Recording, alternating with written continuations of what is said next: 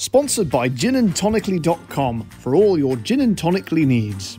Hello, gin lovers. Welcome back. I'm Bobby Freeman, and today, my friends, I am officially excited because my friends, my friends, esteemed colleagues, viewers from around the world, I almost knocked it over then, but let me introduce you to Jaffa Cake Gin. Now then.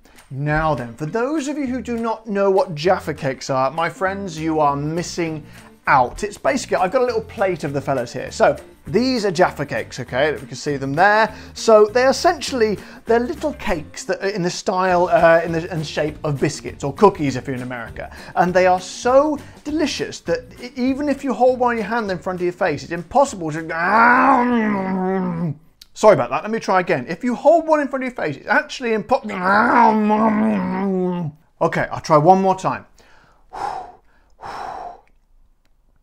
It's actually impossible to hold one in front of your face without.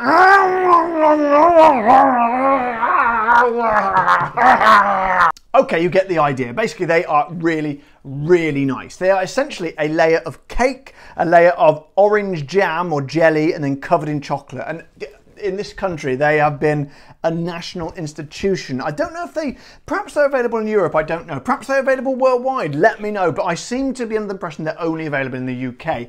Now, my friends at the Master of Malt uh, distillery have come up uh, with a wonderful idea of combining the extraordinary, uh, delightful taste of Jaffa cakes with a gin. So it, it's, it's daring, it's out there, it's unlike anything I've ever seen before, and I am extraordinarily excited about trying it with you today. But as always, before we get stuck in, thank you very much to my extraordinarily brilliant sponsors, ginandtonicly.com.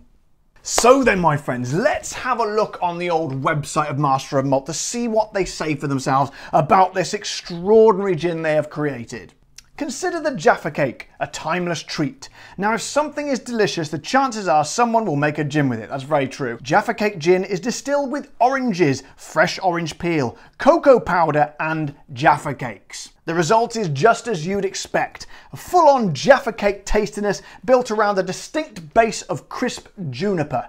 Well, my friends, I don't think we need to read anymore. Let's get the top off this little fella, shall we? So then, peel the old top off, chuck that over there in the time-honored tradition. Over she goes. Now then, my friend. Oh, it's, it's, it's, it's what I call a dangerous gin. One of those ones when you unwrap it, there's, there's every chance of lacerating your hand. So I'll do this very, very carefully. And what have I discovered here? My friends, it is indeed a cork, and we know what that means. It's the cork test. The cork test. So you know the drill. We try for the squeak. Let's have a look. Oh! Oh, hang on. It teased us with the squeak, then it disappeared. One second, there we go. Hang on. There it is.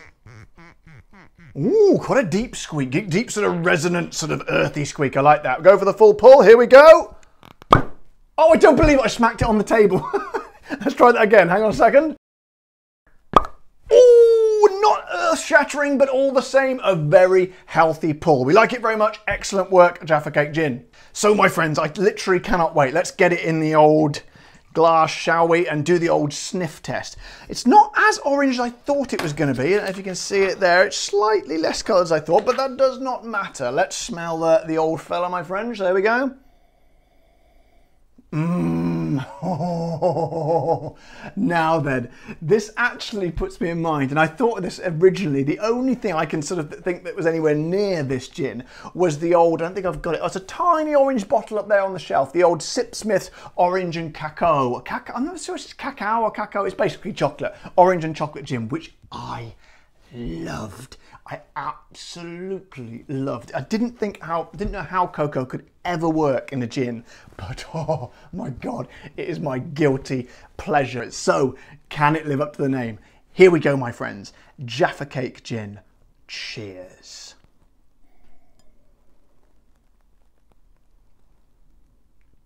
Holy! Oh, it's a bit stronger than I thought. I thought when I first saw this gin sort of uh, being sort of touted about on social media, I thought to myself, oh, come off it. There is no way that's actually going to taste like Jaffa cakes. It's impossible. It's impossible to do. It's just a bit of a gimmick to make people buy it and it will just taste a bit orangey, right? That, I don't believe it. It is Jaffa cakes and it, it's oh god damn it! It tastes just like Jaffa cakes. It tastes exactly like Jaffa cakes, but mixed with gin, which sounds like a really obvious thing to say, but they've cracked it. They have not only have they have they uh, uh, uh, succeeded, they have absolutely nailed it, bang on the head. Let me have another blast. Hang on, I can't believe. You can smell it. it, it, it you can smell it even more when after the tonic has been put in there. It's just it released those sort of chocolatey flavors as you those aromas as you sniff it. So not only do you get the taste of all the Jaffa cakiness, you also get the uh, so it sort of preps you by sort of filling your nostrils with that sort of uh, sort of chocolatey waft. It's just out of this world. I mean, th that honestly, that has got to be the most exciting, original, and just wonderfully joyous gin I have tried in a long, long time on this channel. It's fantastic. And another good thing, you still, I always say, as everyone should say, as, as every gin drinker should say, it's still got the juniper in there. Just about a tiny hint of it, just holding, just grasping onto the fact that it is gin. And I am a bit of a purist, but I don't mind, you know, I, I, I like sort of the exploring these weird and wonderful flavors.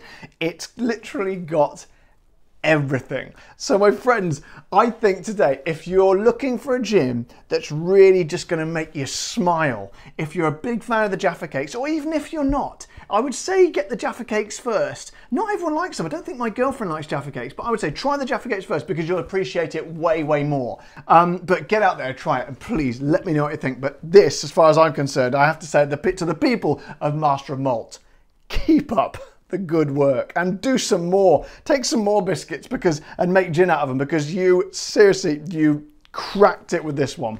So, how much is it going to cost you? Well, I, for that sort of experience, I would quite happily bust straight through my top bracket of £30.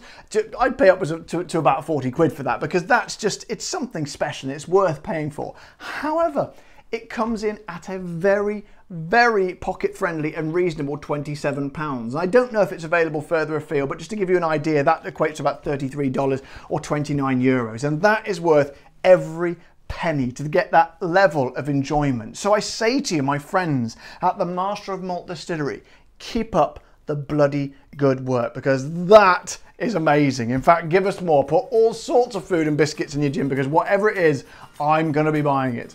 So my friends, what a video today, what a video. It's, occasionally you get these wonderful ones like this and I'm just, I'm so happy I've done it. I'm just desperate for you guys to try it and really, really want to know what you think. But um, in the meantime, if you've enjoyed this video, if you found it useful or entertaining or anything else, then please don't, don't forget to subscribe to my channel and press the little like button so I know that you're watching and liking. And of course, if you want to support the channel, don't forget to head over to my Patreon page where you can become a channel supporter and have your name in the credits of the videos. And of course, thank you to my sponsors, ginandtonicly.com. But until next time, guys, I am Bobby Freeman. Stay safe and keep drinking the gin.